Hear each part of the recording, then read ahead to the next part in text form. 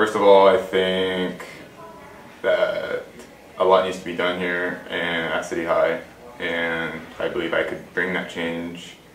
And also feel, uh, well, and I think another reason is it'd be kind of fun to be the vice president. So yeah, those are my two reasons.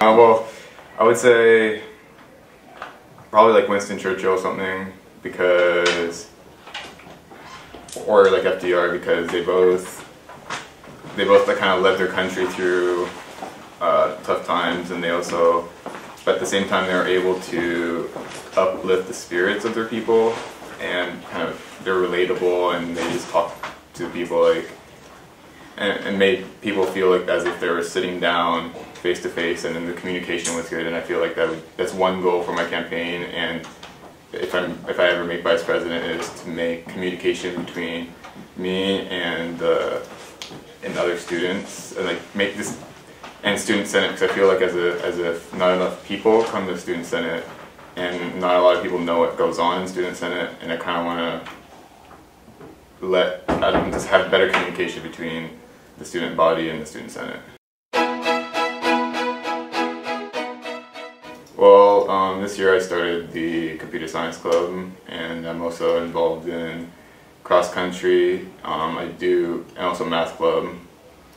Um, let's see, yeah, and I just take a lot of classes. So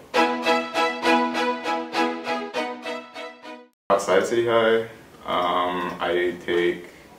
Well, I used to be involved with the with Japanese school, but now outside City High.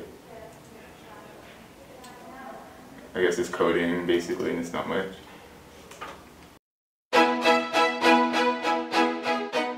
Um, well, like yeah, like I said earlier, I want better communication between the students and, and the, the student body and the student senate. But also, like I think, well, parking is a big issue this year, and I think it's always been an issue, but this year especially, as there's a lot of freshmen and sophomores, and a lot of them are also parking in the upper lot, and a lot of juniors and seniors can't find enough parking, so I, um, that's one thing I want to help change is the parking situation.